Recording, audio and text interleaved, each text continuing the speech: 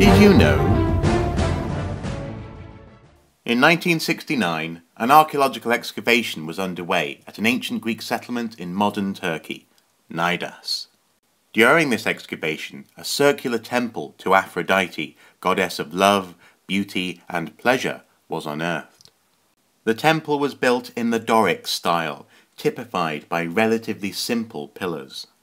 Within they found a marble base and fragments of a statue believed to be the Aphrodite of Knidus, carved by Praxiteles of Athens in the 4th century BC.